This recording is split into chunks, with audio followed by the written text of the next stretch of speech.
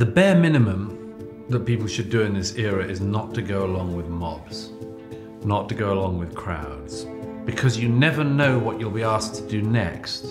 Today, you'll be asked to take a knee or raise a fist.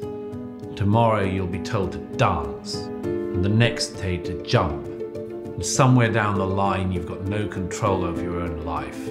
And you don't have your own words because somebody else gave you the words to say. And you don't have your own actions because somebody else told you how to act. And before you know it, you've disappeared as an individual and given yourself over to the crowd. Get some self respect and say no.